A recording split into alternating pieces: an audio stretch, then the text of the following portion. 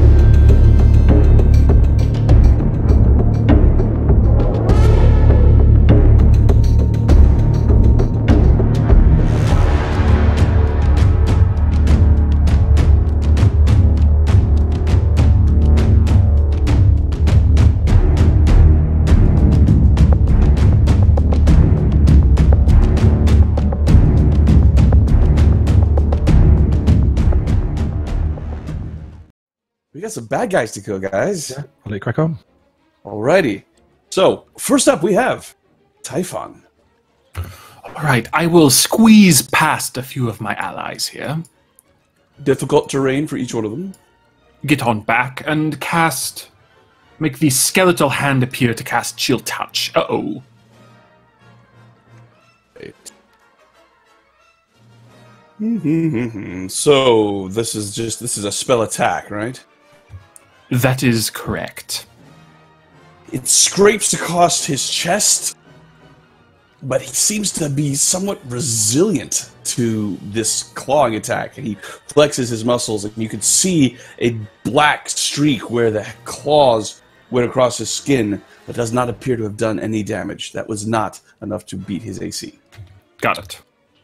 Next, we have Rhimb. Rhimb is going to step into Dorin's space and take a shot and then step back out. All right, so there's we can go through all the rules of why that why you do that, but it is um, you have plenty of room to do that, so you can do that. Make your attack. Uh, That does not beat his AC. He dodges out of the way. It looks like he barely even broke a sweat doing it.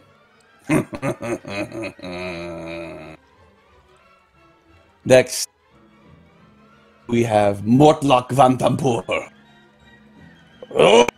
Oh! Comes barreling through both Dorin and Silas. Step out of the way as massive man comes comes through, and I've lost his token underneath Silas. I've had to move you for a moment. Please excuse me. And he uses all of his movement to get to right in front of this man. Right. Silas. Right.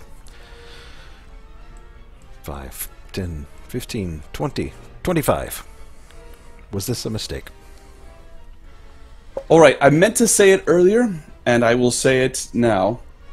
When you move into uh, close proximity to this man, you feel the blood in your veins begin to heat, and it's as if it's trying to push out of your skin. Your face becomes flush, and you begin to sweat. It's just how it feels. You uh, are able to move where you wish to move if you want to go to that spot. Okay, so um, at, at what point would I have been feeling that? So I take you one step would have been feeling it at that point, here or directly adjacent? uh, directly adjacent, uh, five foot. Well, then I'm going to continue next to him Mm-hmm. and strike. All right.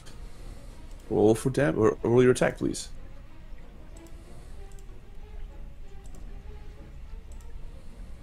Twenty. That is a hit. Roll your damage.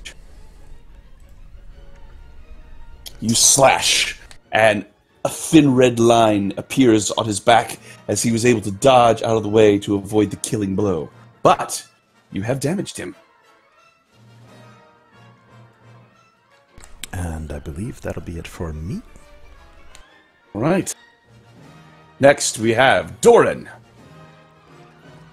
All right, I will move up next to Silas there, and uh, I am going to use. Next to Silas. Uh, yeah, I don't know if it updated yet, but uh, I'm going to use Hexblade's Curse on him as a bonus action, and then I will uh, cast Booming Blade. Right. So you are. I, I can't see that you've moved, but you're standing right behind Silas there. Yeah, right behind Silas. All right. I don't. Once it updates, there we go. There you go. Uh, All right. 17 to hit for nine. 17 to hit. That is a hit. Um, once again, the eyes flash red in his skull. He holds out his hand, and as the blade comes slashing down, it passes through him, doing no damage. All right. I assume it doesn't uh, apply booming blade then. Correct. Right. Okay. Uh, that's it for me. So wait, so the booming blade is on the sword until it's used? Uh, no, no. No, okay. It, It dis- procs on a hit, right? It, It- procs yeah. on a hit, but Yeah. does it? If you don't do it in that in that turn, does it proc then on the next? No, it does not. Okay, It's it's so done. that is Dorin Falkrunn. Your turn All right. Can you hear me? again. Lovely. All right. So I'm going to go ahead and, with the dogs of war behind me, move in. and then I'm going to go ahead and toll the dead on our bone faced friend.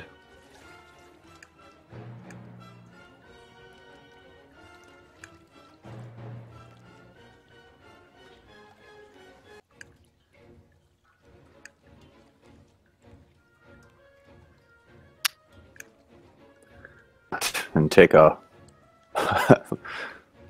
Whopping. yeah, big old flick to the One- forehead with a yeah. Bong. Uh, it appears to have damaged him, but not much. Yeah. Yeah, but but did it? Did it?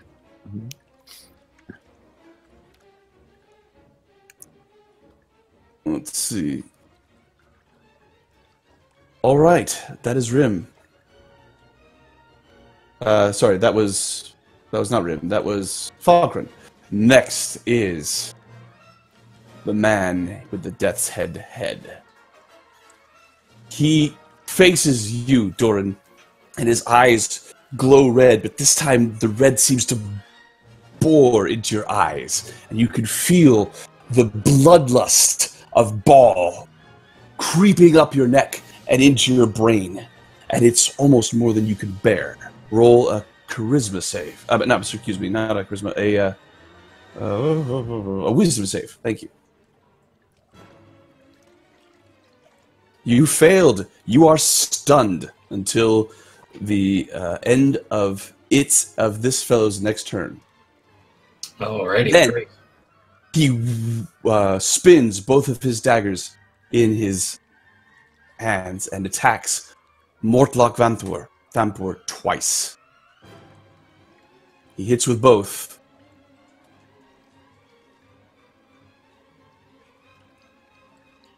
Um, if you have vulnerability to something, it does double damage, correct? Correct. Uh, Mortlock Van Tempur's throat is sliced in two places, and he reels back and falls into the onto the floor.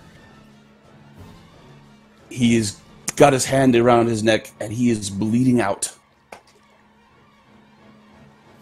Next, we have Persephone.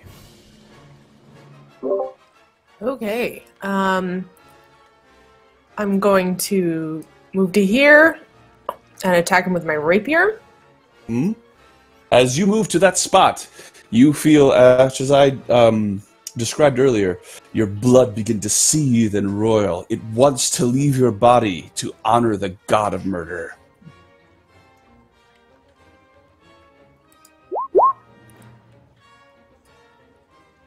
Dang it. Um, that is enough. Yes. Okay. And can I perceive if I feel like it's hurting him as much as I think it should? Um, yeah. You uh, make a scratch along his arm, and you see it. Uh, nice red, vibrant blood come pouring out of it. Okay. Uh, and then I'm going to use my bonus action with my dagger. Uh,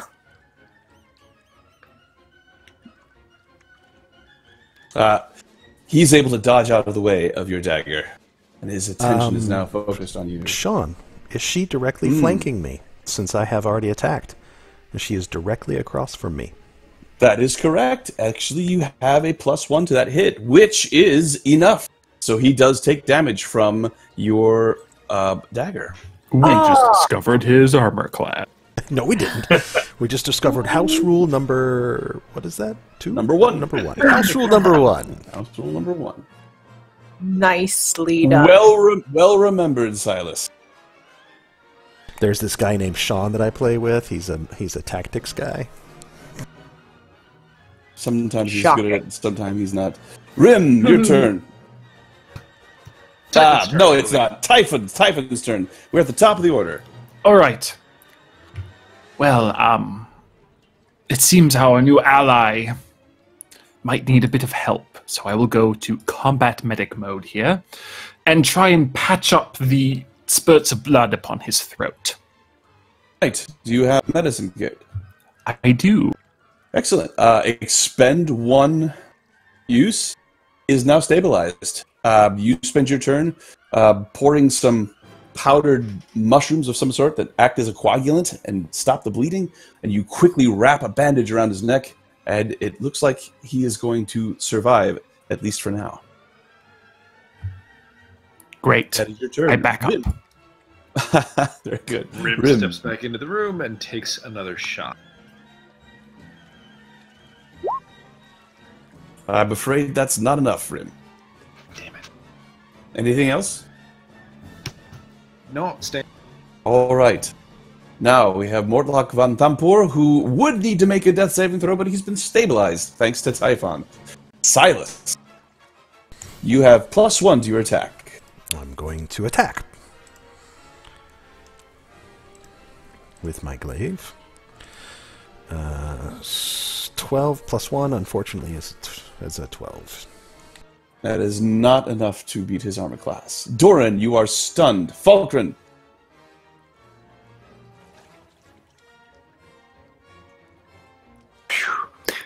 I'm gonna go ahead and move up to to get into that up that spot there and get in on this beatdown. So pull out my warhammer and take a swing. This will be one-handed. right? That is not enough to beat his armor. Anything else? Curses. Uh, Uh, should point. mm. He he is some of his some of these blows seem to deflect off of his skin as if he's wearing armor. Some of them he's able to dodge. Hmm. All right. Uh, no, I'm gonna I'm gonna hold fast and uh, stick it. Very good. The figure with the skull head turns his gaze on Silas. Silas, make a wisdom saving throw.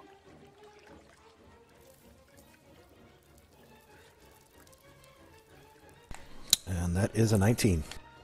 That is enough. Your blood begins to seethe and creep up your neck, but you are able to shake off the effects and it gurgles back down into your chest.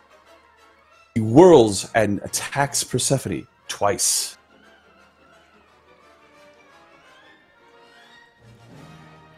One of the hits goes wide, but the other one does not. Persephone, take 13 points of piercing damage. Oh, damn. Say that number again. 13. The slice cuts across your arm, and at first you think, oh, I'm alright, but you look down and you see blood bursting for it, scattering against the wall. Some of it gets on Falkrunn. It's as if your blood is rushing out of your veins. Next, we have Persephone.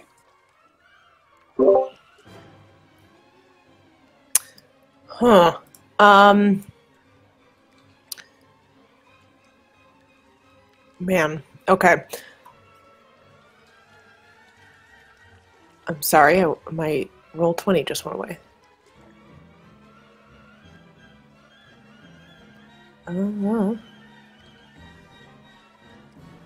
the screen has gone blurry. One moment. Ah, the technology. It allows us to do so much.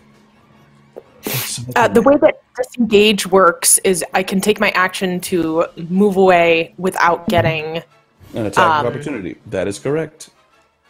And then could I still use a bonus action to take a healing potion, or is that not how that works? Uh, yes, that is how that works. Okay, so I'm going to step back to here. You, you- Um, you, you use your action to disengage. You move there. mhm. As you step here, uh, let me ping it for you. As you step here, your eyes can't help but travel to the statue of Bane that is Oh, above no. you. And you hear a voice in your head Kneel before the tyrant of power. Make a charisma saving throw.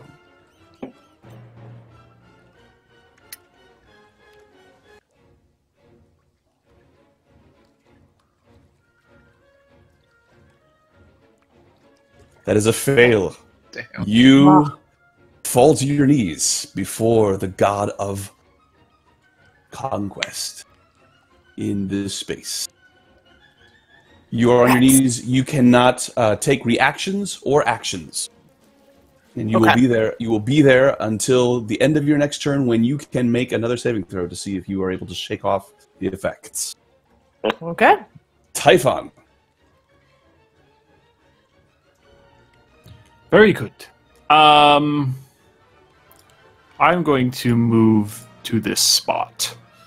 And seeing things are not going very well, he seems to be very agile. I will do my best to um, sort of wave my hands in his face, cause a bit of magical sparks to leap from my hands, and I will look to my allies and say, Strike true and strike now! And use the help action. Very good. Who are you helping? Just in the next person to attack? Yes. All right. Well, that would be Rhimb. Rhimb, you have advantage. right. I will. Uh, I will take another shot.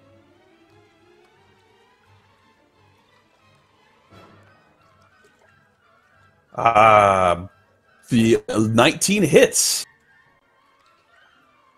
Uh, the arrow comes streaking forward and it strikes right in the chest plate. And he looks down and he looks up and his eyes glow red again. The arrow bursts into flame and falls down, burnt. There is no wound. Um, I call out at Silas. Silas felled the statue.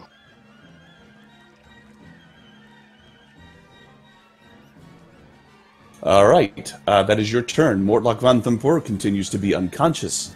Silas, you have a plus one to an attack as you are directly flanking with Typhon. Right, and I've been given instructions to take down the statue. Um, how large is that statue? Uh, which statue are you referring statue to? Statue of Bane. The statue of Bane is um, they're six feet tall. They appear to be made of painted wood, Painted wood. and each of them stand on top of a block of redstone, making it looking much taller than it actually is. Okay, then I'm going to be a good fellow and using my reach, stab the statue. All right. Hmm. What's an AC for a non moving object? I'm going to call it uh, an AC of nine because of its hardness.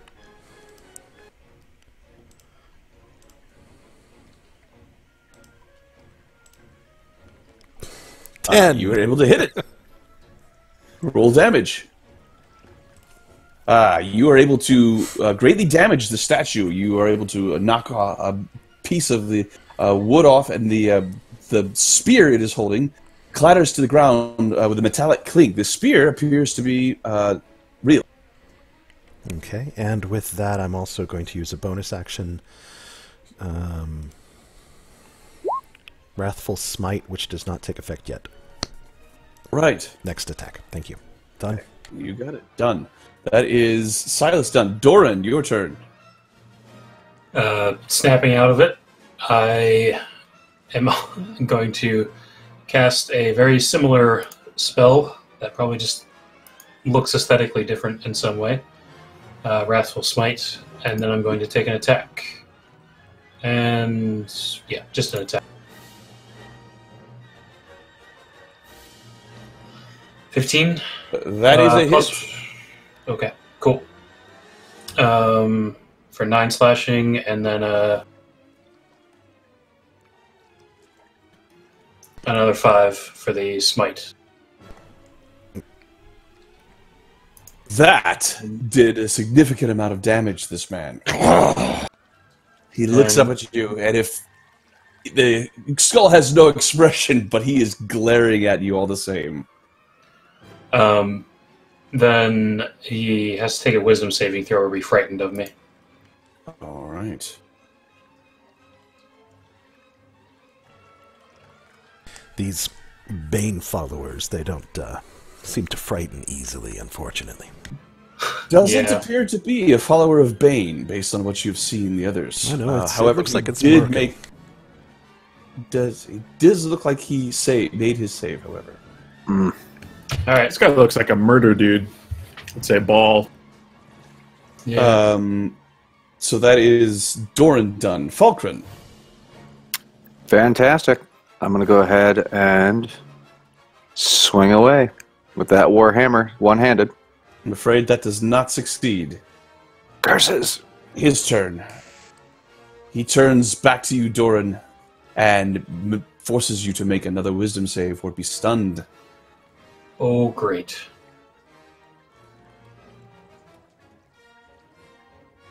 Well done. The blood attempts to rush into your head, but you're able to shake it off, and it I've, doesn't have I've any seen it before. Right.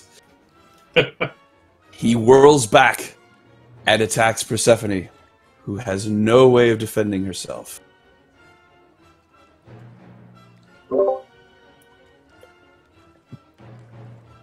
Persephone, you take 14 points of piercing damage. Right? What? I am unconscious. Definitely a villain. Persephone, Persephone falls.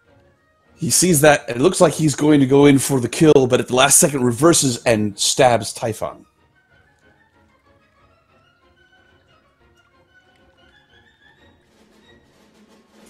Rolling a natural one. Hmm, So, uh, Typhon, you were so uh, shocked by Persephone falling that you step back briefly, and his uh, blade went wide as it curved around. That is his turn. Persephone, make a death saving throw, please. Um, where do I do that on my D&D Beyond sheet? Hmm. I'm not looking at a sheet at the moment. When you have zero hit points, there should be an option. Oh, I didn't. I didn't know if that I should be. I was keeping track of that manually, so I just put it down to zero. hmm Okay. Okay. Yes. Um. It should be right in the middle. Once you're at zero, there's a little red die between the failures and success. Got it. That is a failure. You take a step towards the great beyond. Yeesh. Typhon.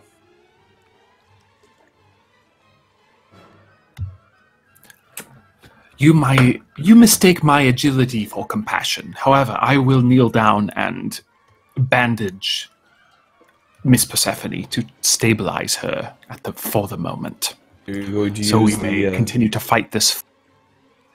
You're using another uh, charge from your medicine kit? Indeed, All right. Persephone, much as Mortlock was dealt with a moment ago, you are stabilized. Zero hit points. Zero. Great. Thank you. Rhimb.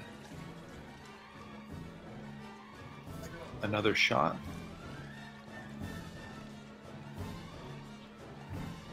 I'm sorry, that does not work. Uh, Ignore the second one. well, why would you? Oh, why would you roll the second one? Uh, that, that was an itchy trigger finger. Itchy trigger finger. Very good. Well, it's a much better roll, but unfortunately, the first one Alas, stands. yes. Alas, and alack. Mortlock Van Vampora continues to be unconscious. It's getting very good at it. Silas, your turn. Right. I'm going to. Uh, seeing. Uh, this, the, you said the spear fell from the statue. Did I see it make any difference in Persephone's status? Um, you did not uh, see anything. Um, however, uh, she fell before she was able to take any action. So Okay. possible it might have worked. Uh, hey. Um, I'm gonna have to go combat medic myself. Uh, did well? Did Typhon stabilize her? Did, is she still on Yeah, death's she's door, fine. so to speak? She's still on. She she's is fine. stabilized. She is Okay. she is unconscious at zero hit point. Want to make sure. However, you will not get you will not get the plus one bonus uh, because Typhon is not threatening while he is uh, stabilizing. That's fine. I'm just going to do a straight attack. I, what, what's the? How does that rule work now? If Uh, yeah, if you are directly across from an ally, you uh, you get a plus one to your attack. However, I'm ruling that since you didn't spend your turn trying to attack him, you instead spent it. Um, an, an uh, engaged ally, yes, exactly. Makes sense? but I think 17 hits. You're correct. A 17 does hit. Let's see that paladin damage. Well, it's five, and when I originally invoked Wrathful Smite, it, it rolled a four. So it's All right, so that's nine. Nine total points. Uh, five magic, four psychic. Um, five magic. Oh yeah, I've got a moon touched elven glaive. Magic. Well, does it do? Does it do slashing, piercing, It's slashing, but it's magic. slashing? That five slashing is what I need to hear. That's if he, if he had resistance to magic to anything other than magic, then you would be correct. That would do damage. I was just calling the type of damage, just in case it was different, Sean, because wrathful being psychic always blows my mind. That is strange. Ah, anyway, for another time. Um, Dorin. Right. Uh, just another attack, I think, and sure, booming blade. Um, so 19 to hit for 10 slashing, Uh, hit. and he's kind of wreathed in that in that energy. All right. Ah, that is a very mighty blow. He uh, managed to leave part of his defenses open, and you took advantage of it, and you were able to give him a nice cut along his hamstring. Ugh. He's breathing heavily. Uh, oh wait, hold on. Oh. Uh, that's a crit actually, because I hexed him. Ah, excellent. And also, oh jeez, I think I was supposed to be doing some extra damage before. It's a natural 19 that is a crit, right? Because 19 on is. Oh, you're right. You're right. Sorry, sorry. I wasn't thinking. Never mind. Never mind. Carry on. Uh, he did take an extra two damage though, uh, because he's my cursed target, and I forgot about that before, but that's fine. So twelve damage total. God. All right. Uh, Falkrunn. All right, swinging away. Uh, I'm afraid that is not enough to pierce his armor. Damnation. And then I'm going to go ahead and take my bonus action and burn a healing word for um, Persephone. All right.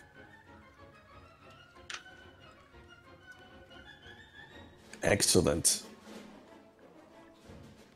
Take that healing. Uh, So that's Ten, Yeah, so 10 you're- points. Wow. yes, you are 10 healed for points of healing. You are still cleric prone. is amazing. You, you are still prone, but uh, you can stand and attack on your next turn. awesome. Thank you. Praise be to the crying one. He heard the prayer that you just uttered, Falkrunn, and casts his gaze upon you.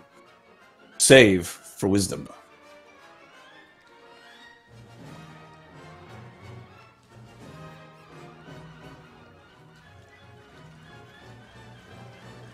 The blood in you begins to rise. You hear a rushing in your ears, and all you see is red. And you hear the cackle of the god Bhaal in your ears. You're stunned. At least, at least she's used to suffering.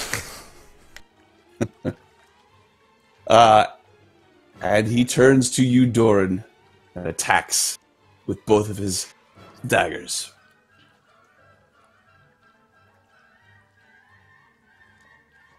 Hitting AC 21 and AC 17. Uh, one hits. All right, which one? The 21? Uh, 21 hits. Yep. All right. And then I'm going to use my reaction to uh, do a hellish rebuke. All right.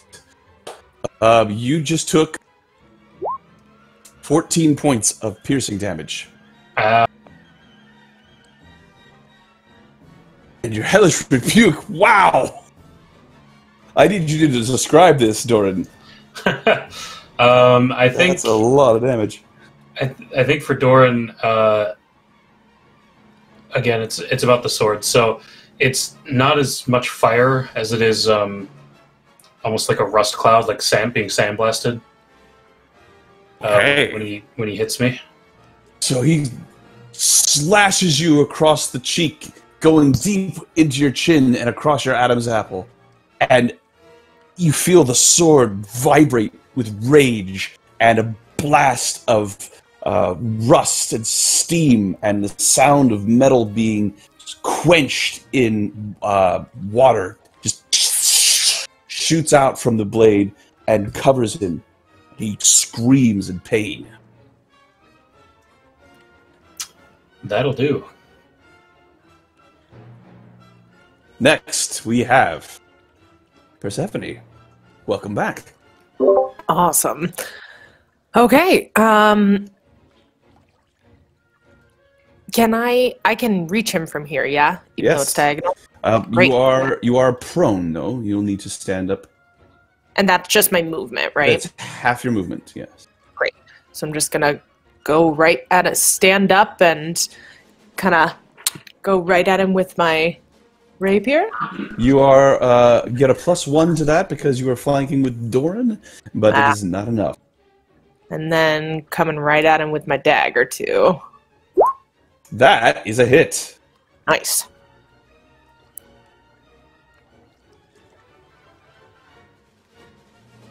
Persephone, as you see Dorin being slashed and the steam enveloping your enemy, you stand quietly. You can't quite get your footing, and you swing wildly with your rapier, but then you see your opening and you drive your dagger home. Final blow is yours. Oh. Um. All right. So I, uh, you know, swing widely with that dagger and or with the rapier, but when the dagger hits home, I, I'm surprised for a moment that I that I can feel that it hit, and then I just take all of my energy and drive it all the way through into the up to the hilt.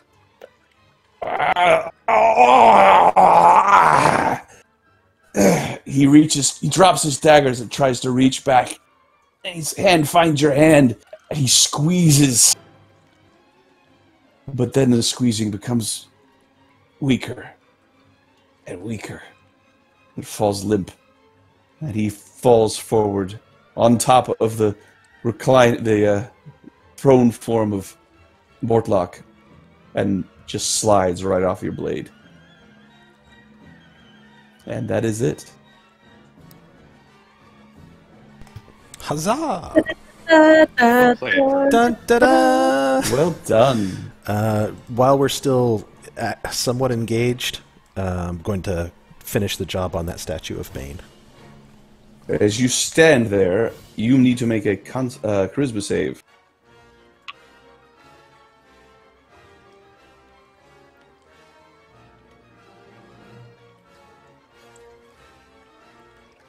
What's the save? Uh, charisma. I'd actually like to move up and uh, hit the other statue as well. Which statue? Uh, the one to the north. Let's see, the one to the north. I guess I don't finish the job on the statue. As you come Uh-huh. forward to knock the statue from its pedestal, you hear a voice in your head. Kneel before the might of the god of conquest. And you try to steel yourself, but you can't help but fall to your knees. Let me see.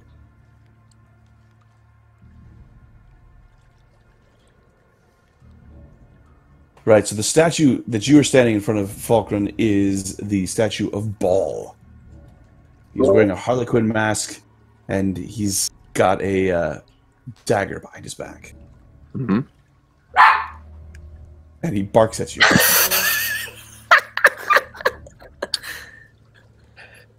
Um, before before he does that, I cast Bardic Inspiration on, or uh, before she does that, I would cast Bardic Inspiration on Falkrunn. All right. What form And I- does your bardic inspiration take? Um, I believe she sings Sledgehammer.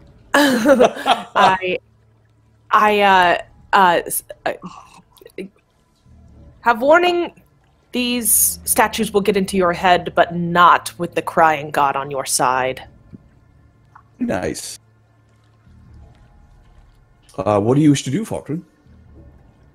I'm gonna take a warhammer to that statue, as these are vain, evil gods.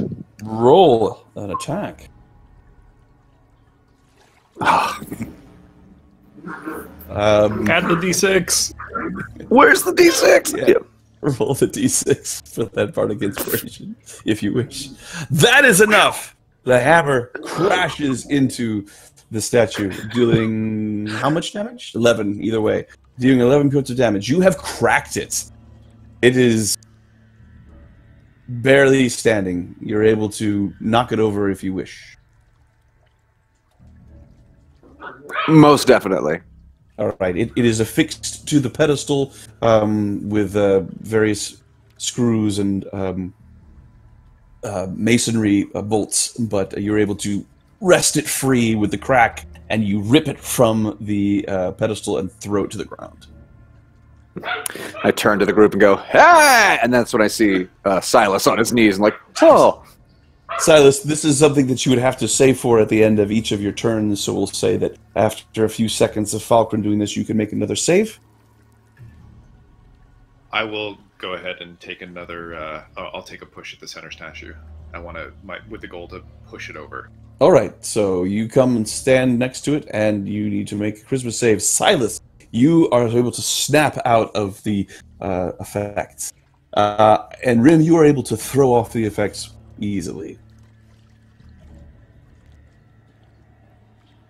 And that's uh, what is that? Athletics or strength? Straight strength check. Um, if you want to push it over, uh, would be athletics. Athletics. Uh, that is more than enough.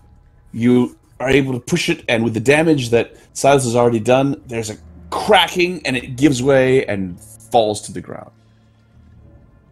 Now, you had mentioned, DM, that when I first hit it, the spear seemed to be a real spear held in a wooden statue, yes?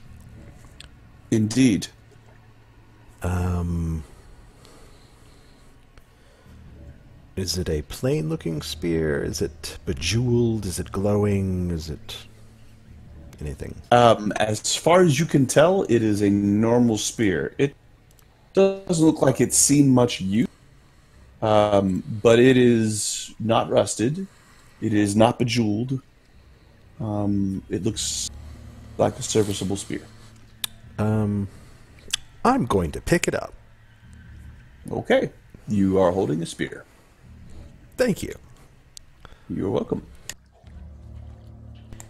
If- If we're gonna if we're gonna be lawful stupid and I'm playing a paladin, I might as well get into the spirit of things.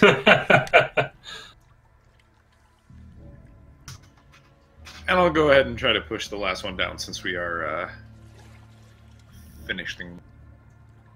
Come to here. Uh, roll that strength. Uh, athletics, sorry. You put your hands on, onto the statue and push, but it seems to push back. And you look into the eyes and you hear sound of exhalation.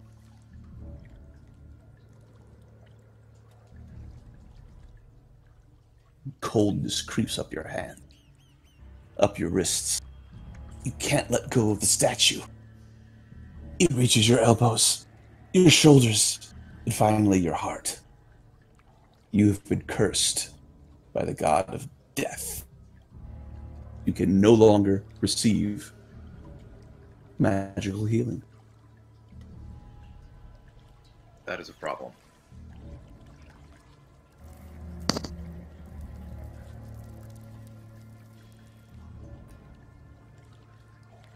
Statue is still standing.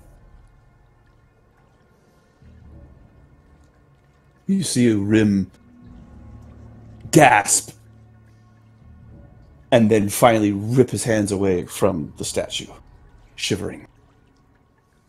It's hard to tell with Dragonborn, but he does not look well. I'm gonna run over and uh, attempt to hit the statue with my hammer. All right, roll your attack.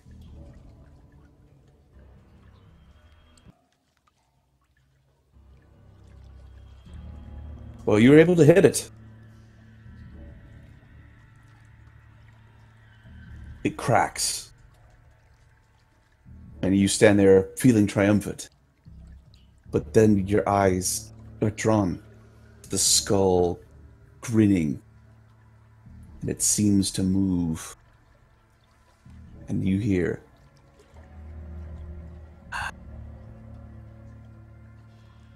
Coldness settles upon you.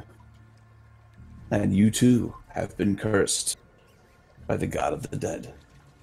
You cannot take benefit from magical healing. When I have a moment, I'm going to attack that last statue with reach. All right. I'm not- You have you have a moment. I will just finish the job since I'm already cursed. Uh, so who's doing that? So Si- okay, so Silas, you make your attack if that is what you want to do, unless somebody stops him. I'm gonna attempt to like I'm gonna attempt to parry it or like knock the blade out of the way and say like don't. All right, I will say that is what happens. Falkrunn And then as I- keeps you from doing it, Silas. And as I as I knock his blade away, I then turn and like throw a backhand back at the statue. Right, roll attack.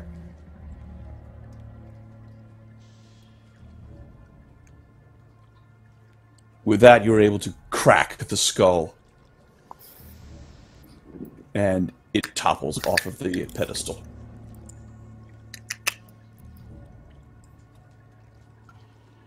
We still feel that coldness, though. That does not lift. It does not. It's not as bad as it was, but you are still cursed.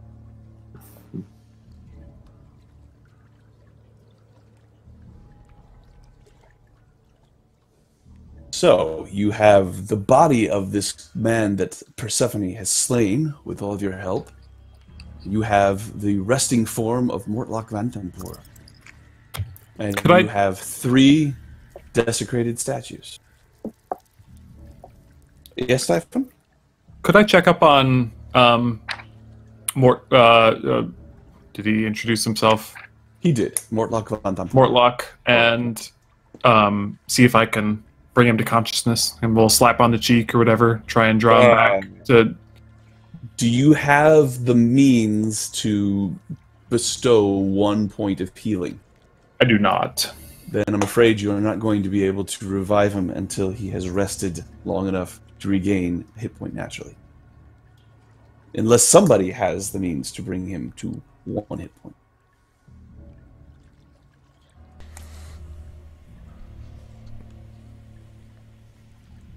I would take that as a no. Well, I have a- I- we- it can be done. Um, Um, Well, uh, let me put it to you this way: uh, we could end tonight and spend this last hour talking to Jade, asking questions, um, or we could say that you're going to do a little more exploring, um, with the understanding that you probably need to find a place to put Mortlock while he recovers. I mean, I, I can heal him. Mm-hmm. Um, and I'm prepared to, if we continue. I'd like to continue at least. See if we can knock All right, out this Let's keep going. mission. So, Alright. uh, the challenge here, I'll let everyone know. Uh, I'm going to raise him up, but this will be the end of any helpful divine energy which I have.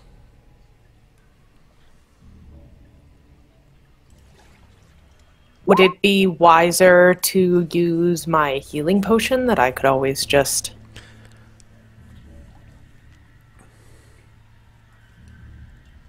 All right, Silas, you cast Cure Wounds. The goddess Vandria Gilmadrith, her power descends upon you, passes through your arms, and Mortlock seems to glow for a moment, and then takes a deep breath and opens his eyes. Is he dead? He's practically Look to on your top of right, you. friend. Oh, comfortable friar, where is my Romeo?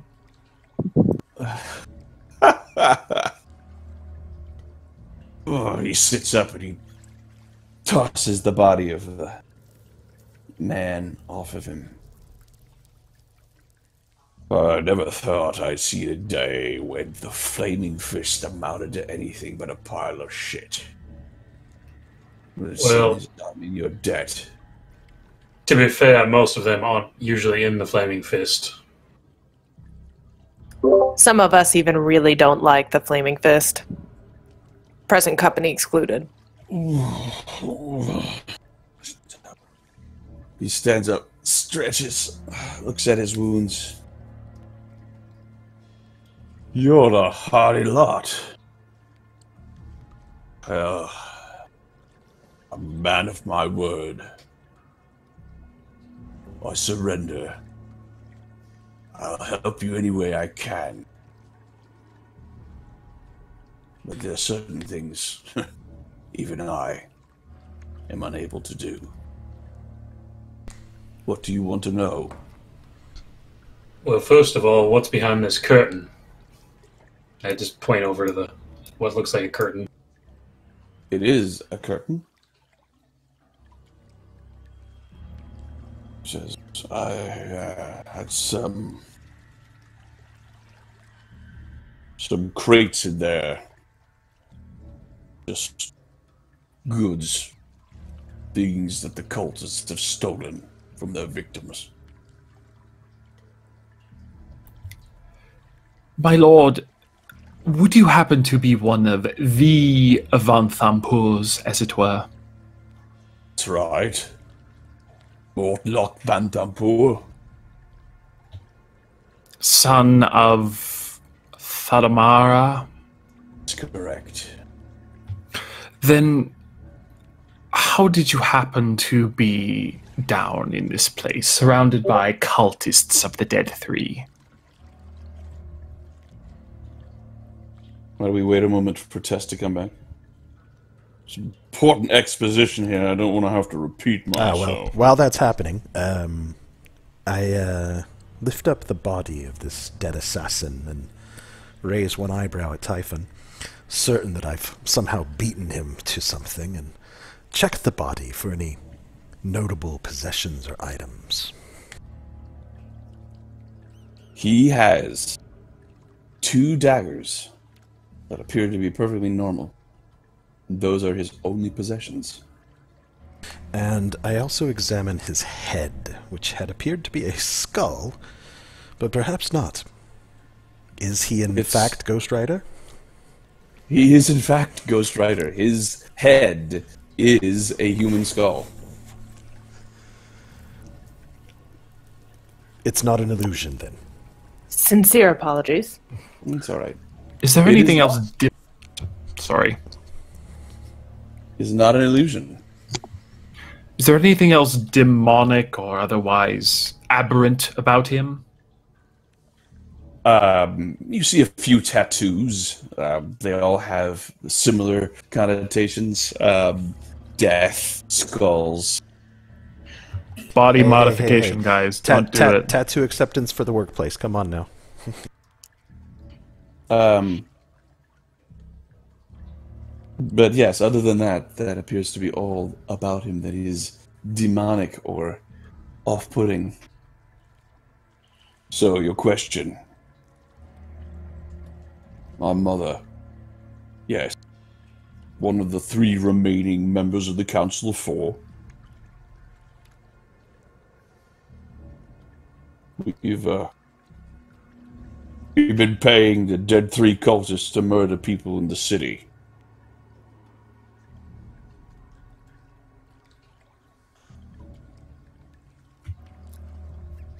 I think that warrants a bit more explanation. I could see why you'd think that. It's my mother's idea. She wants to take control of the city. Now that uh, Grand Duke is gone, which she was also a part of, she thinks that by discrediting Flaming Fist, she can show that they are nothing more than what they really are, which is a group of bullies, mercenaries. With them destabilized, shouldn't be anything in her way of becoming the next Grand Duke. Can I ask what did happen to the Grand Duke? He went to Elturel. My mother was instrumental in convincing him to go. Lots of bad blood between Bolt and Elturel. So she was able to convince Grand Duke that Tom was right. Try some sort of diplomatic thing or other. Not really sure. But she arranged a meeting between him and the leader of Elturel, a man named Thavius Kreeg. And, well, the plan was for him to be in the city when it fell. Seems to have worked.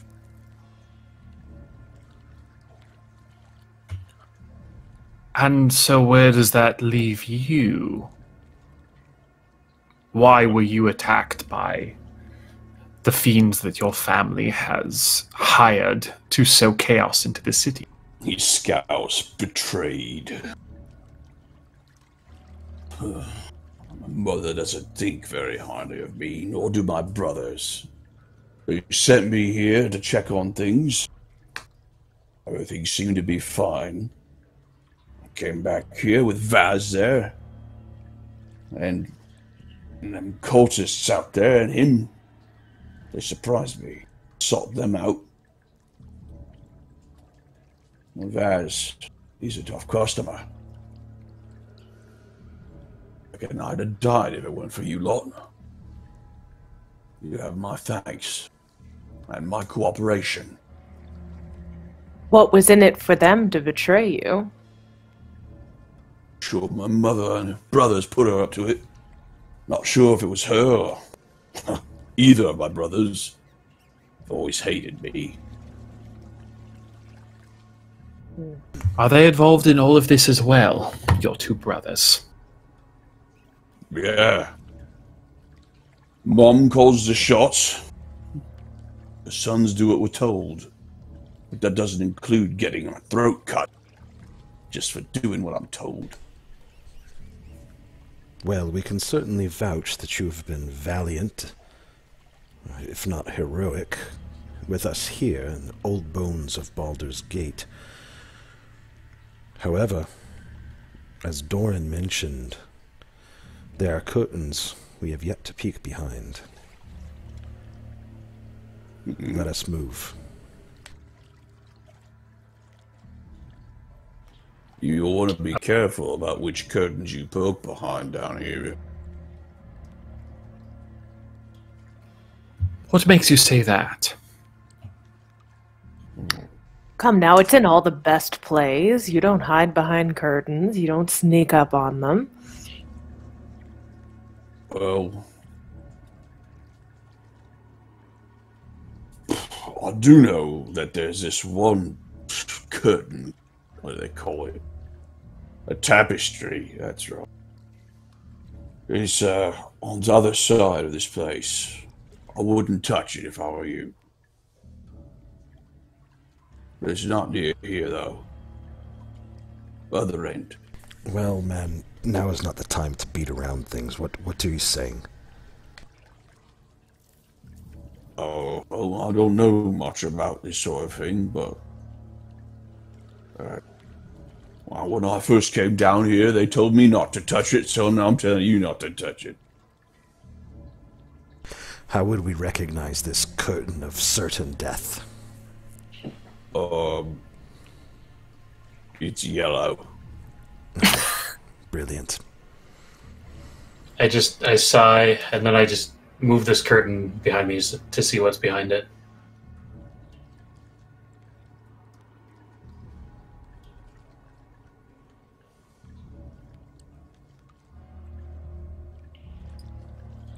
Much as he described, it appears to be a storeroom. There are several rats that are squeaking around. They look up as you open the door, or as, you move the curtain, and you see their little red eyes. And some of them scurry away, but others are too busy eating and doing the things that rats do. There are nine crates.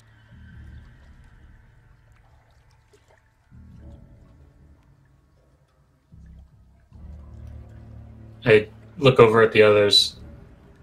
Well, shall we at least clear out this bit here and make sure there's not going to be anyone behind us as we discuss?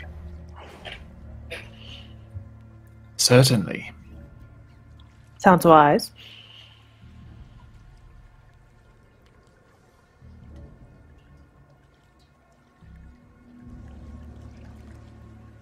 They start walking in.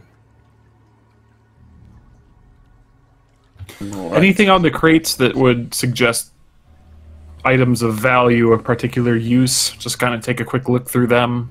Um, they don't seem to be marked by anything, but as you open each one and look, they're all they all look like at one point they were hammered shut, but uh, the nails have been removed. Um, six of them are empty, and there's some packing straw, but they are otherwise empty. And the other three contain goods.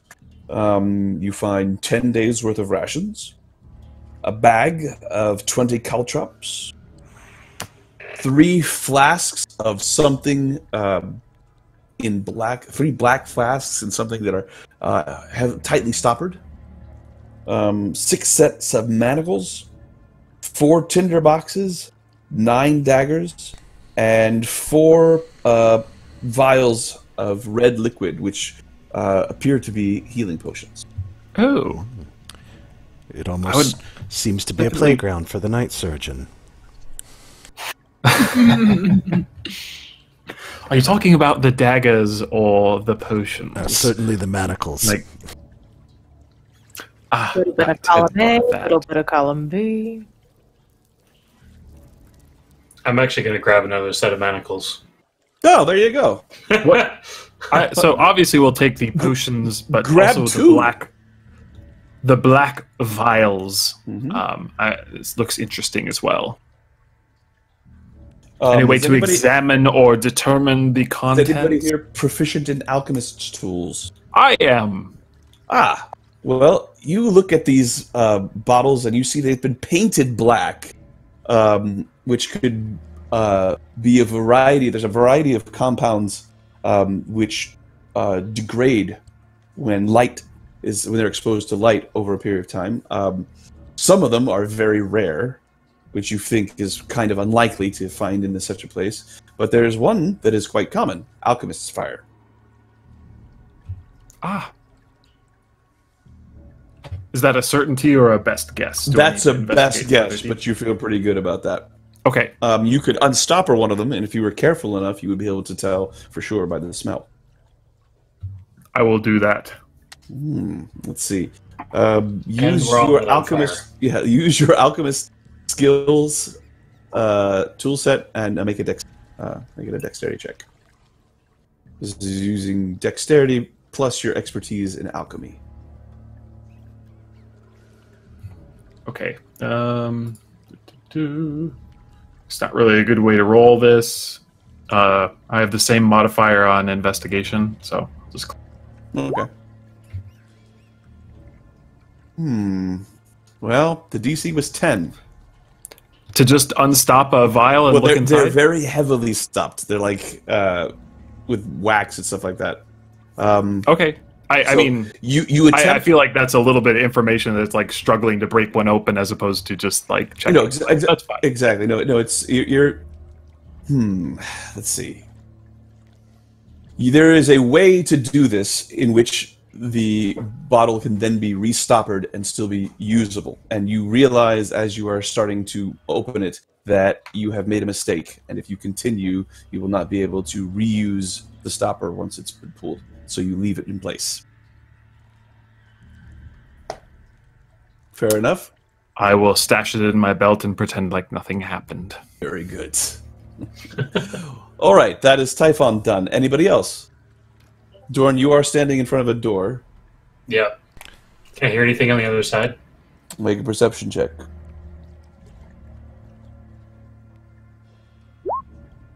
You can hear nothing on the other side of this door. I I just opened the door.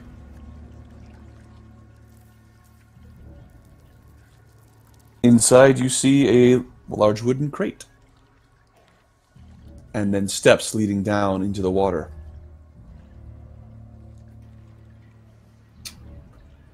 All right. I'm just gonna head back around. Okay. Anybody want to check that trick crate? I'm sure that someone will. There's also a room full of chests that we have to look at. Quickly. Sure. All right, this uh, crate seems to have been in storage for torches. There are only six left.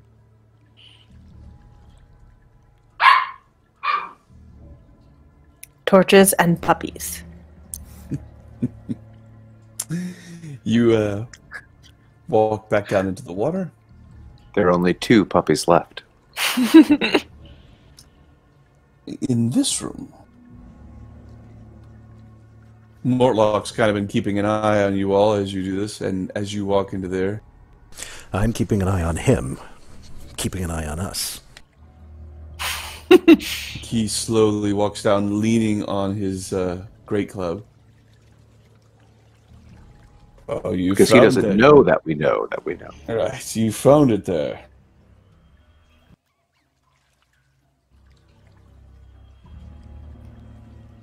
What did we find? Pretty sure that's some treasure that my mother used to pay these cultists. Not quite sure where she got it. Well, then if she paid them, then it was money gone from her. Who knows what good it could do? Certainly, it's going to have to be confiscated. Uh, The, the dead three cultists, they um, they usually receive a regular payment from my brother, uh, Amrik. He runs a money lending business. You can find him sometimes in the Low Lantern Tavern. My mother doesn't care for me, but he thinks Amrik's just the best. He's always been her favorite.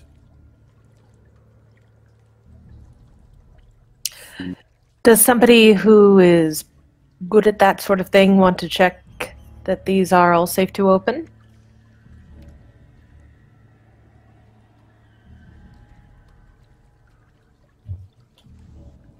Um, sure.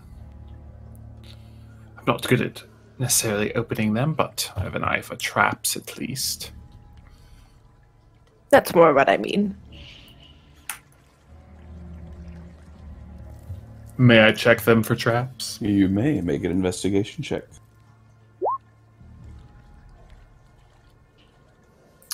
Is it possible for me to have helped since I came Are up you- with the idea? Are you proficient in investigation? Oh, uh. So I have um jack of all trades, which makes me Somewhat Like- proficient. Hmm. yes in everything. So I'm I don't not know how. sure. I'm not sure if Jack of all trades allows you to give help like that, but I'll say sure. But it's a moot point, as in the this investigation check is enough. This does not appear to be trapped, Typhon. Excellent. Uh, I open up the one that's closest to me. It is, however, locked. Now you can see on the side of the of the uh, chest there is a large padlock, and the chest is well.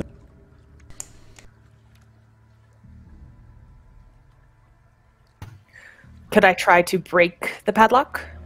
Um, you could attempt, yes. Um, It's just a strength check. So you will need a tool of some sort or a weapon. I was going to offer her my hammer or assistance in breaking that lock. I was going to use my dagger since we just found a whole bunch, and if I break it, I can just replace it. All right. Um, the dagger is not going to be able to substitute for thieves' tools. Um, you could potentially, it is a metal implement. You could jam it into the lock and try to pry it off of the Oh, yeah, I'm- I'm not trying to do thieves' uh, Okay. work. I'm just trying to like brute force open All it. right. Uh, that will that that is a metal object. You can attempt to do it. Um, roll a athletics check. I think actually this is just before we just said straight strength with um breaking of manacles Yeah. and such. So we'll Mhm. say that again. Straight The strength. barbarian lockpick. Indeed. Mm. It's a strength save. Make sure you Oh. do the strength check. Thank you. Wow, Nice. Persephone. you make a noise very similar to that as you are able to snap the lock off of this chest. Excellent. So there are four chests total. You have managed to unlock one of them. You open it, and it is filled with money. Just looks like thousands of copper pieces. Two red crystal vials with gold stoppers. And they look like the healing potions from the other. They do not. Ah. Uh, I hand them over to Silas and say, "Recognize these?"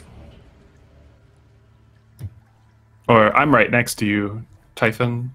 Or Did you mean Typhon or Silas? I'm sorry. Well, who had the um, who had the uh, uh, alchemy proficiency? that was me, Typhon. Typhon. oh, okay. Typhon then. Would you like me to make a check or Yes. Uh, this will be to, to determine the type of uh, potion these are. Will be a alchemist's tool check with um, intelligence. Okay. Um, I'll just this will You- you appear as. Arcana, but it's same modifier. You're I not don't sure know why that rolled with disadvantage. That's very strange. No, either of them were unfortunately not enough for you to determine what these potions are. Red potions, uh, a brighter red than healing potions, and gold stoppers. The gold stoppers alone are probably worth something.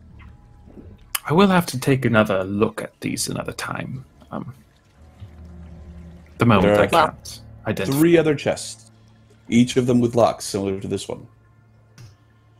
I will Um, step in an attempt to break another. I'm sure that with this group, at some point, we'd be able to unlock all of them. That's a good point. With no threat, everyone will just keep trying until finally they're all broken, especially with that. Uh, Rhimb comes in and he breaks that one without any trouble, um, taking the time to rest in between each breakage, make sure his hands are nice and uh, uh, Dry. dry. He's able to break all four of the locks. In chest number two, it appears to be filled with hundreds upon hundreds of silver pieces. Um, also, it seems to contain 10 gems. These are eye agates.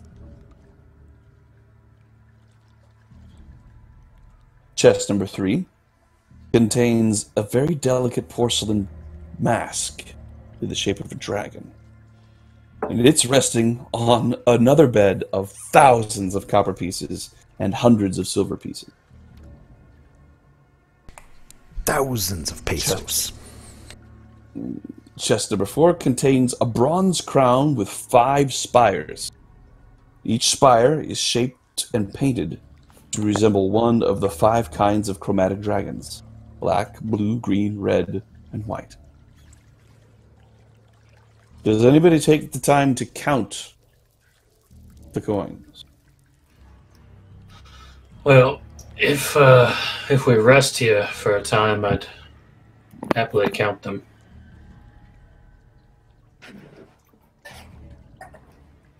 But it will take a while. I'm certain that you have uh, many accountants in your bureaucracy which can back you up on this, but perhaps for the moment we'll just take any dangerous items and move along, move along.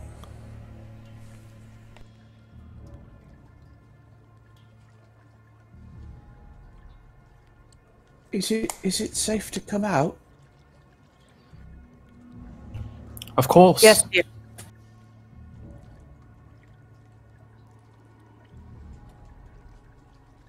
Was she not tagging along with us before? I assume she, was, keeping as about. soon as, as soon as you guys went into battle with um, with uh, the cultists, she stayed behind that corner and um, was so good at it that you know not even the DM was looking at her. I, I, I was aware of her presence. She never left the board. But I assume that she's not strong enough to lug around chests full of coins. So Indeed, the um, the chests are heavy. The first one weighs seventy pounds with everything inside. The second one weighs thirty-seven with everything inside. The third weighs fifty-five, and the fourth weighs. Hmm, not that much.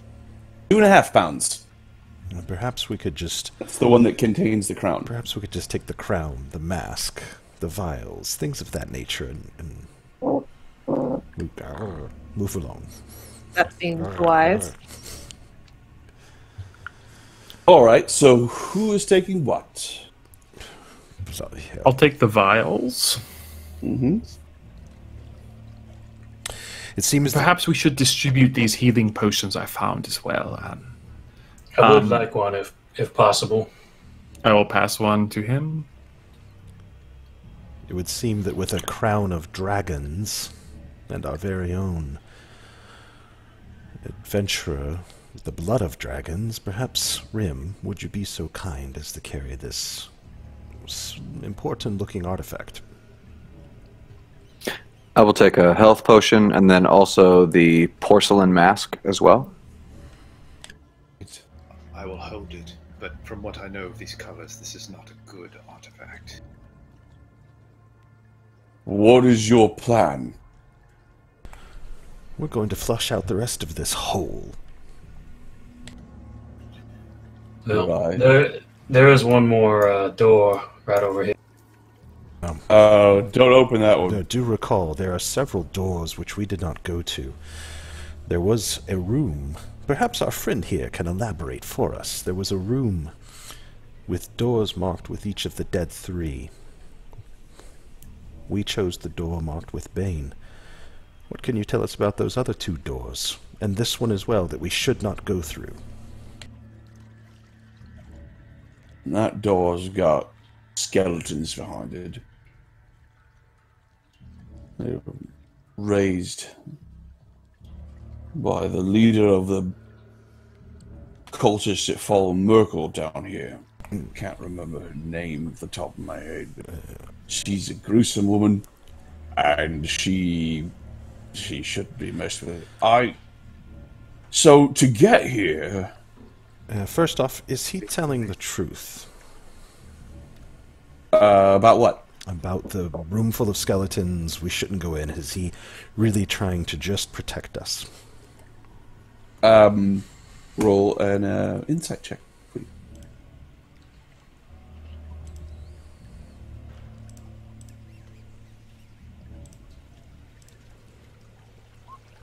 please. Fourteen.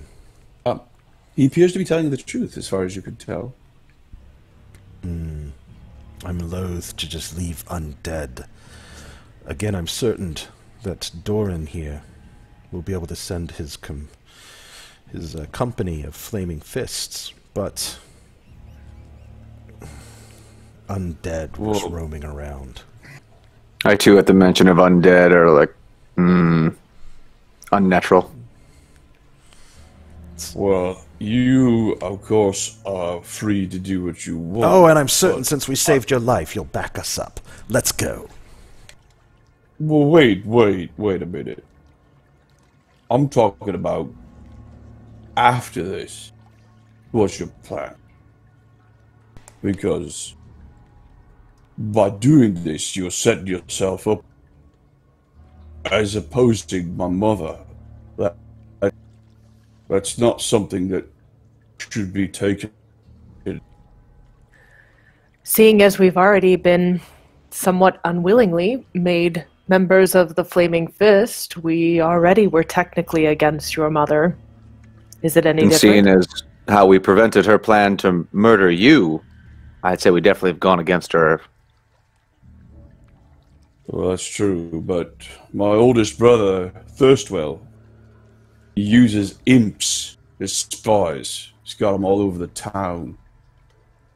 Sees everything. He knows you're here, I'm sure of it.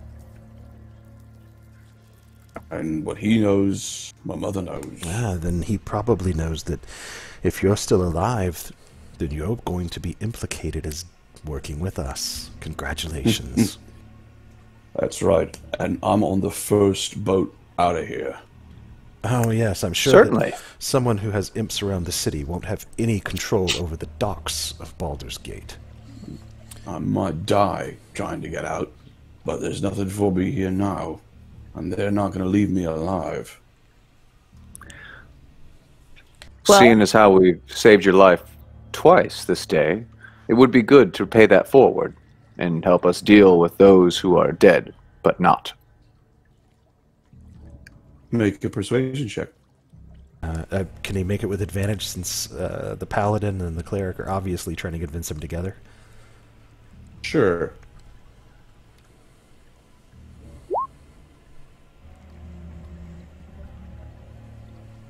Well, I did say I'd help you, Ah, but I.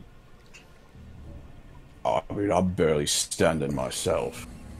Appreciate everything you've done, and I'll pay you by answering any questions you might have, but. tell us about the other two doors. The ones marked with the other members of the Dead Three, Myrkul and, ba- and Bhaal. Tell us where those doors lead. Other than a yellow mm. curtain, what are we going to find? Oh, scratches his head and says, "I don't. Let me let me try and picture it." Well, if you came this way, you must have passed the altar of Bane. we did. Did you see a fellow there with a big helmet? Oh, yes, we killed everyone in the room. Oh, well, good for you. Hmm. He scratches his chin and looks back towards the room where you've come from.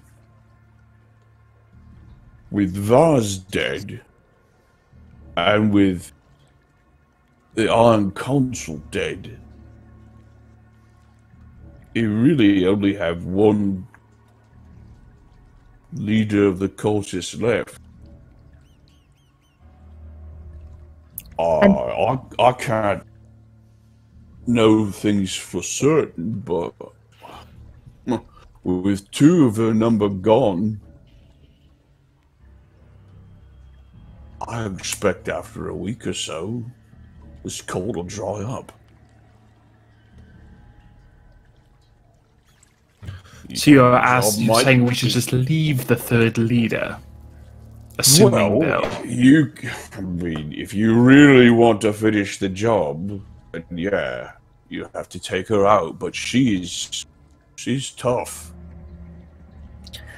If we were to need to rest to recuperate ourselves, is there a secure location in this place where that could be done?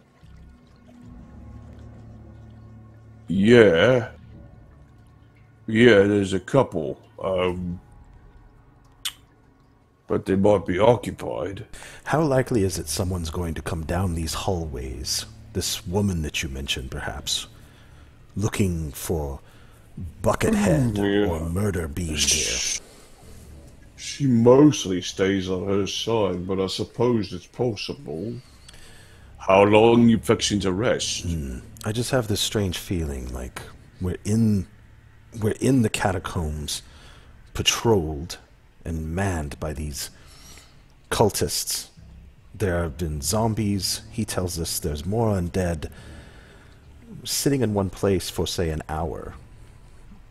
It would seem likely that someone would stumble upon us, which could be unpleasant. Well, like I said, there are places that you could go where probably would be disturbed. In point of fact, that room that's got skeletons in it, nobody opens that room because there's skeletons in it.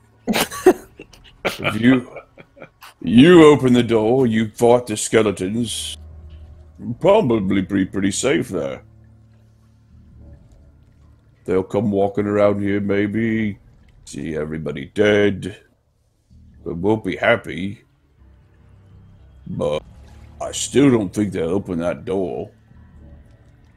well, we're going to open the door either way, Good luck. shall we?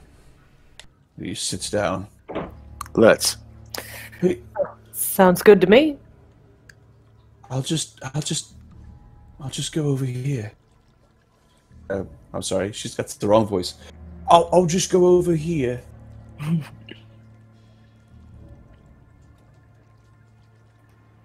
Well, since we know there's uh, skeletons in there, I, I suppose we can just fight them one by one as they come. Let's just rush in and get some strike first, strike hard. Let's go. Silas, Silas, there's a way in which we should handle these. Let them funnel out. I said we can definitely take care of them, but we also need to take care of ourselves. They're skeletons. I have Have, two. uh, point. I'll step back. I've taken some hits from that from those daggers, so I'd prefer not being on the front lines this time. I will happily take the front. Rhimb, can uh, Rhimb, can you go ahead and give me some support behind me? Some arrows. Of course. Uh, DM question: If if I'm right here where I'm at and they come into this space, can I attack them? Yes. Okay. Ready? Who's opening the door? Looks like Falkrunn's going to open the door, and then step back. I think so. Falkrunn is going to open the door and then step back. Right, well, hmm. As soon as you open the door, I'm going to go ahead and tell you this. As soon as you open the door, if there's an enemy there that sees you, that will be the beginning of initiative.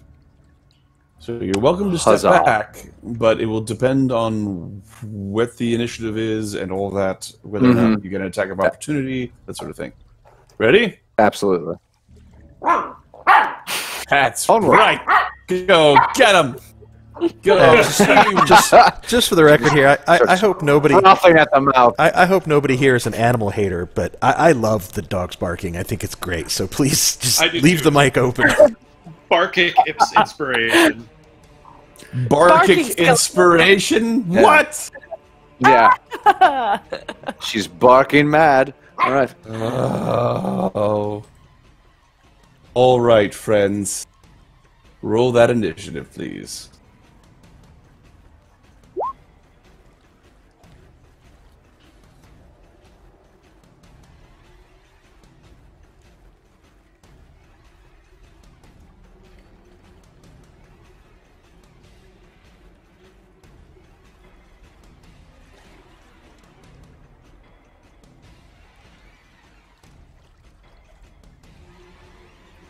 I just noticed that Typhon has plus six on initiative. That's hilarious. I do. I still rolled really low. It looks like we got everybody, correct? Mm-hmm. Hey! I'm proud of myself. We're all proud of you too, Sean. You're a good boy. Thank You're you. a good boy. Yes, you are. He's gonna hate me for days for that. Okay. Let's get this ordered correctly, and we will begin. Rin, you are first for the 23. I do have a line of sight to this one in the corner, right? Yes, it has partial cover because of the corner of the door there.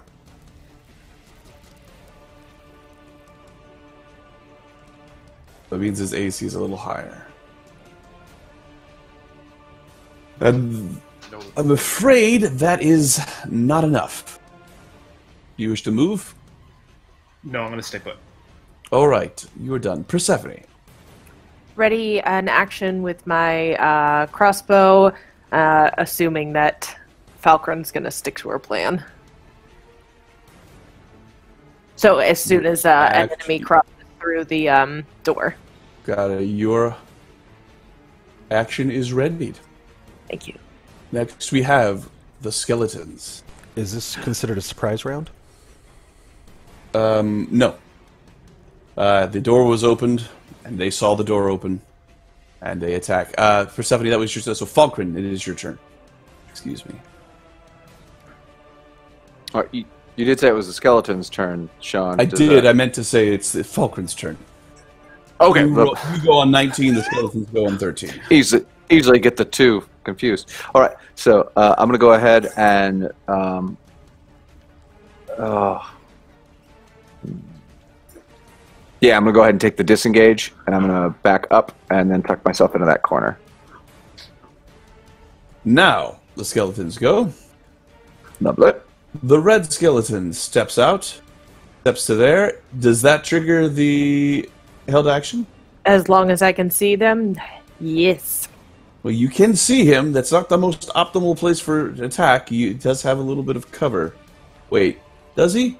No, he doesn't. No, it's it's the, the you- point of the corner, right? So Yeah, the point of the corner. He does not have cover. So you were able to attack him. Roll that damage. Or roll that attack. I should say. So, uh, apologies. I I have a crossbow, but I don't see it in my actions. Do you have the crossbow equipped? Yeah, you may need to go into your equipment and just equip it. There's a little checkbox. Thank you. Okay. 14 is a hit. Nice. Seven points of piercing damage. Bone fragments chip off of it, and each uh, rib cage is rattled by your attack. Good.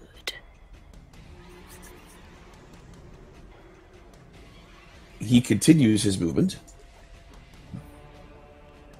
to here and attacks Falkrunn. Because that was the first one he saw. Hmm? Using a short sword, hitting AC 18. I believe that pings off your armor. Is not? No, that is my your armor. Yeah, my armor is 18. So Yes. Uh, you take six Yes. points of piercing damage. Six points of piercing damage as the point of this sword finds its mark. That is that skeleton's turn. Blue skeleton moves to there and attacks Dorin. Hitting AC 22, doing four points of piercing damage. He's also wielding a short sword. These uh, skeletons are all armored haphazardly, uh, bits and pieces of leather, studded leather, and here and there a few scraps of chainmail. This Oh, skeleton wait. mo- moves to healed here. when that guy died before. Just remembered. Oh, take that healing. I'm golden. Put me on the What- front line. What'd you roll? Well, no, I think it's just a straight six. is what Oh, it is. straight six. Oh, great. Um, so they have moved there. They have attacked. They're done. Typhon. Very good. Um, chainmail is advantageous, and I will reach out and cast Shocking Grasp at advantage. Ah, an advantage indeed. Aha! Excellent. Ooh. However, that is. Uh, I'm assuming you're doing this on the red skeleton. That's the only one I have uh, reach for, so yes. So four damage. Oh, it shakes as electricity passes through it, activating some remnants of nerves, but it is still standing. Silas. It's not going to be standing anymore. I'm going to attack it. And yes, I'm sorry I skipped your move, Typhon. I'm just Uh, running did- over there. Yeah, you did not incur an attack of opportunity because it's lost its reaction. Roll your attack, Silas.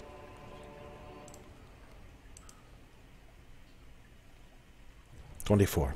That is a hit. Seven points. This skeleton is crushed. Off to the GM lair with you. Indeed. Red one That's- has been downed. That strange, mythical place known as the GM screen. All right, Dorin.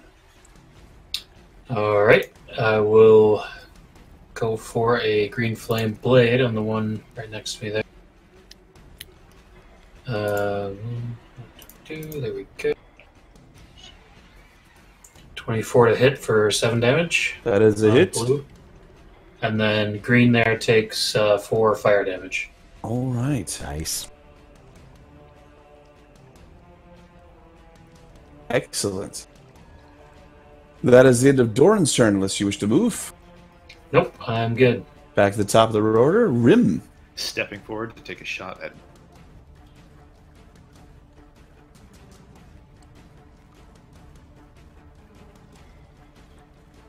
That is a hit.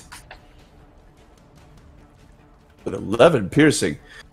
Again, the pointed tip of your arrow who doesn't seem to be doing that much damage, but you hit it right through the spinal column, and the head dodders around for a second and falls off. And then soon Oh. the, re- the rest of the uh, skeleton follows.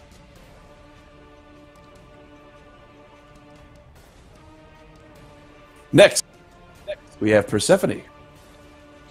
I'm gonna ready in action again, uh, waiting for the next skeleton to sh- show up right in that uh, square and hit him with a crossbow. Excellent. Falkrunn. I will also ready an action and be prepped to bring my warhammer down on the next skeleton to step up. Bringing the hammer down. Well, it is the skeleton's turn next. So, Persephone, take your held action. All right. That is a hit. That just hits his armor. Oh, wait. Oh, no. that- sorry. I yeah. was looking at Rhimb. Rats. Uh, that is not. It passes right through his ribcage and clatters against the wall behind him. Now, Falkrunn, take your held action, please. Mm-hmm. Mm-hmm. That is a hit. Uh, roll double damage, please. Nice. So that's 11 plus whatever, just roll a d for whatever your. Uh, we'll just roll your um, attack. Whatever the heck. D8. Yeah. Well, I mean, Real just D8. All right. No, no. We'll click on click on the damage for your hammer because we'll Okay, if I find four. That will work. Uh, so a total of 15 on Mr. Green. It is crushed into white powder. well done.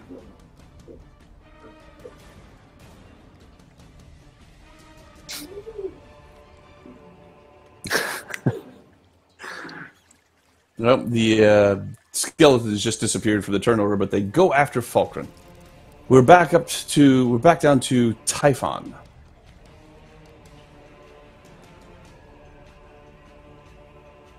Okay, I will step forward, um, do the same thing here.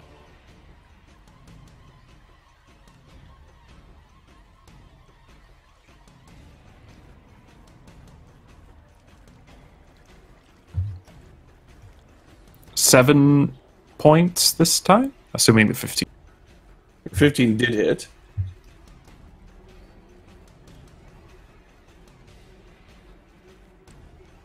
And he did seven points of damage. Again, it shakes as the arcing electricity moves from metal point to metal point on its armor.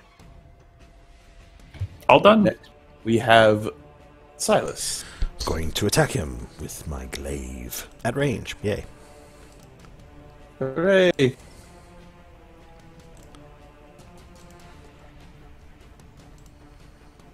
Eighteen. Hits. 18 to hit, 6 damage. Do you have anything interesting to say about how the skeleton falls?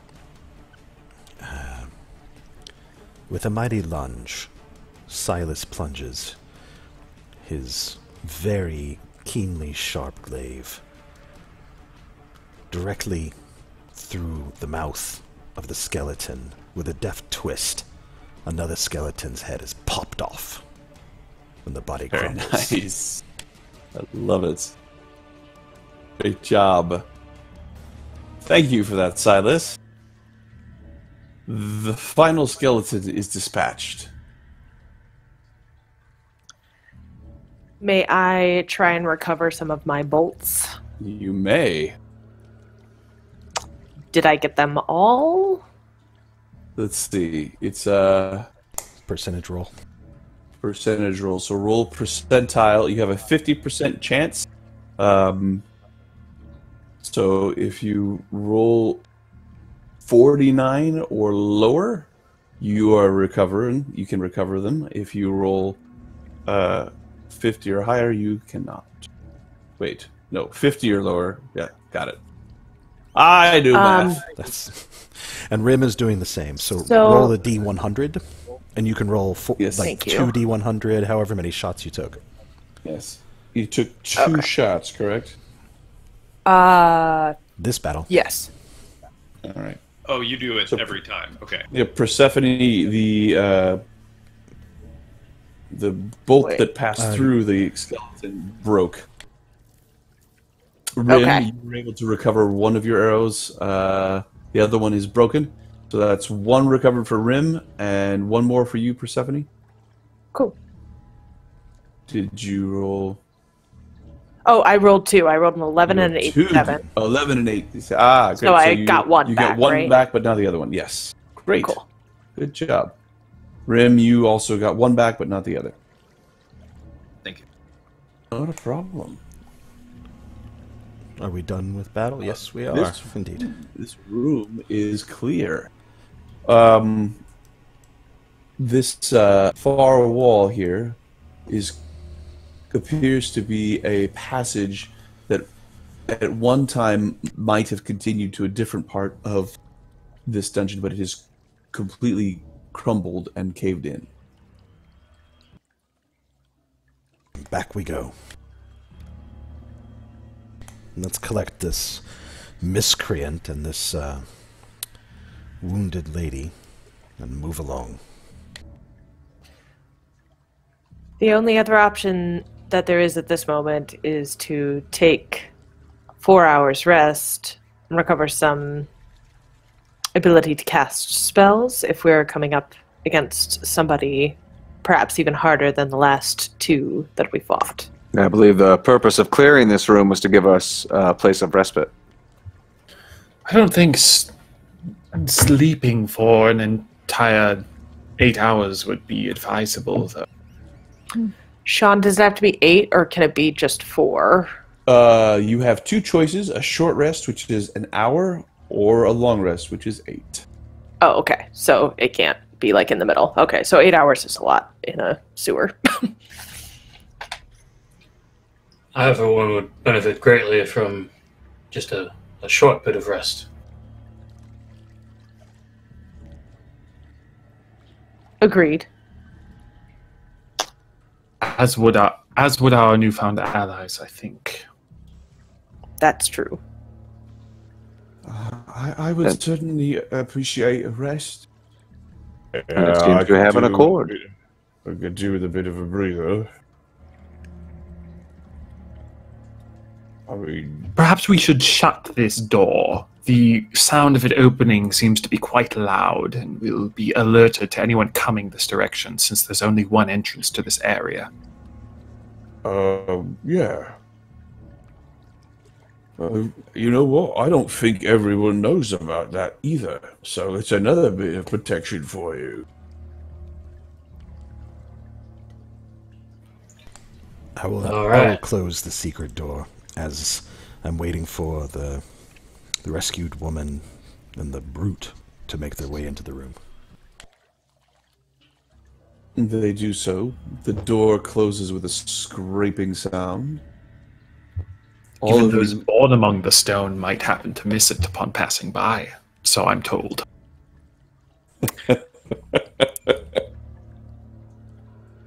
you're just gonna take that?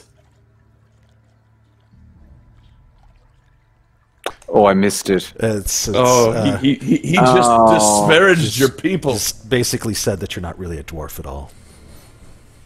If you- Oh, You, you oh, appear you well, appear to you dwarf- appear to secretly be a gnome or a halfling or something, masquerading as see. a dwarf. Well, take minds. The dwarves take no heed of rats. well, Or secret doors, apparently. But we'll leave it at that. all right. Sorry, who pushed it open? I believe I found it eventually. Had to get hands on it, you know. That's what she Um, said. Is this is a very safe place as far as you can tell. However, it's not completely safe. So, um, is there anybody who does not need a rest? I have full hit points. I'm just cursed, so I could stand. I could take Yeah. damage. So that would mitigate the uh, the risk of doing a short rest in a dungeon greatly. So if most of you wish to do a short rest while Rhimb stands guard for an hour, uh, right there, exactly, um, then a short rest you may have. I can also stay I- with Rhimb. I, I gain no benefit from a short rest, and I'm not damaged enough to call a hit die, so I'll be alert with Rhimb. All right. Could I resummon a familiar? Yes, uh, mark off the um, components, the cost of the various things. Uh, is this incense, right? Burning of Incense incense. and charcoal. Hmm, incense and charcoal. Hmm. Probably still too stinky down here to really make a difference. This will be an owl again. Um, I Hawk suppose. owl. The owl named Hawk. um, is there a hit die button on the D and D Beyond sheet, or do you just roll it in roll twenty? Um, there should be. What color owl would you like? Purple. Typhon? Yeah, thank you. Um, Yeah, there's owl. uh, the, sh- cho- the short uh, your a dark- choices. the a short dark, rest uh, a black, dark, dark colored. Uh, Uh, your short. blend the short rest button at the top of the character sheet. There's like an anvil campaign, long rest, short rest. I'll find it eventually. Oh yes, Will that work for you? Uh, short rest. Cool. Typhon? Yes, that's fine. You'll be able to see that all right? It's very tiny. It is. I could send you a token to to actually have a token, if that's easier to. Tr- You, I mean, a token or not. I mean, I kind of like it not being a token, but it might be easier to see if it was. I do certainly. You've got one understand from that. last week. I do. Um, But I like this. I had a question. Um, just housekeeping. Weren't there two people that were cursed? Yes. I was also cursed. This whole place is cursed. so cursed. But it's just a it's just magical means that we can't heal ourselves by. So does that mean um so that like rests still count? Do health potions still count? Hmm. You would have to test that out. I think Okay, okay. Might be uh, dangerous. such a.